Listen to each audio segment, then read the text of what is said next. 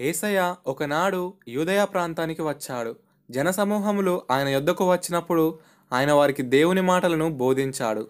అయితే పరిసయ్యులు ఆయన యొద్దకు వచ్చి ఆయనను శోధించుటకై పురుషుడు తన భార్యను విడనాడుట న్యాయమా అని ఆయనను అడిగిరి.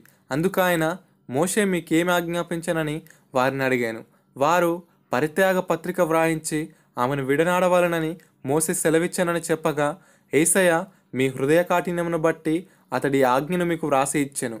కానీ సృష్టాది నుండి దేవుడు వారిని పురుషునిగాను స్త్రీనిగాను కలగజేశాను ఈ హేతువు చేత పురుషుడు తన తల్లిదండ్రులను విడిచిపెట్టి తన భార్యను హత్తుకొనును.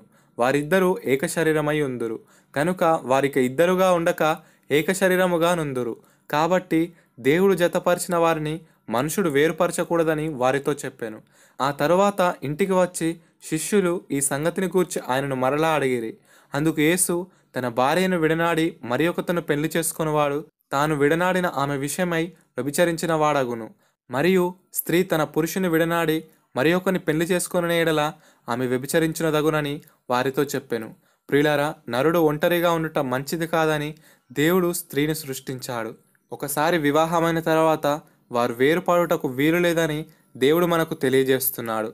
అలా విడనాడుట వలన వారిద్దరూ దేవుని దృష్టికి వ్యభిచారులగుదురు. వ్యభిచారులకు పరలోకంలో చోటుండదు. గనుక వివాహమైన వారు విడిపోకుండా తమ కుటుంబాన్ని ప్రార్థన అనే పునాది మీద కట్టుకొనవలసిన వారై ఉన్నారని గ్రహించి దేవుని దృష్టికి నీతిమంతులముగా జీవిద్దాం.